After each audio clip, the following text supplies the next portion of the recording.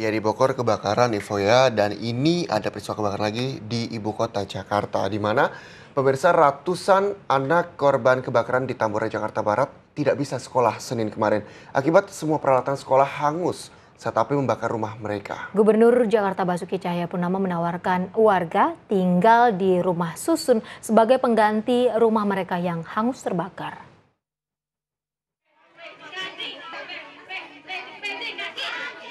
Polwan-polwan cantik ini turun langsung ke tenda-tenda pengungsian menghibur anak-anak korban kebakaran yang tidak bisa bersekolah hari ini.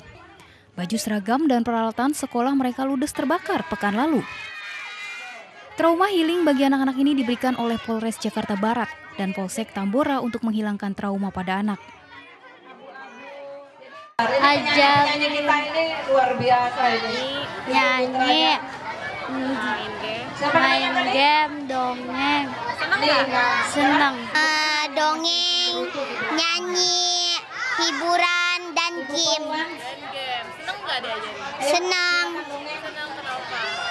Karena kalau di posko-posko gini suka bosen, makanya eh, polban-polban ini ajak menghibur anak-anak. Sementara itu, Basuki Cahayapurnama menawarkan pembangunan rumah susun bagi warga Tambora, Jakarta Barat. Ahok berjanji akan memberikan rumah susun kepada warga secara adil dan proporsional agar tak ada warga yang dirugikan. Jadi kalau dia punya tanah 100 meter, nanti kalau apartemennya itu berarti dapat 150 meter persegi.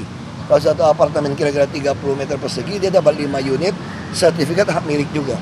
Tapi yang nggak ada sertifikat bagaimana? Ya sudah 1,2 kali. Nah sehingga dengan cara ini kita dapat tanah, dapatnya kan jadi seimbang. Ya nggak bisa dong nasib tau kamu ya biarinnya kebakar gitu kan konyol gitu kan.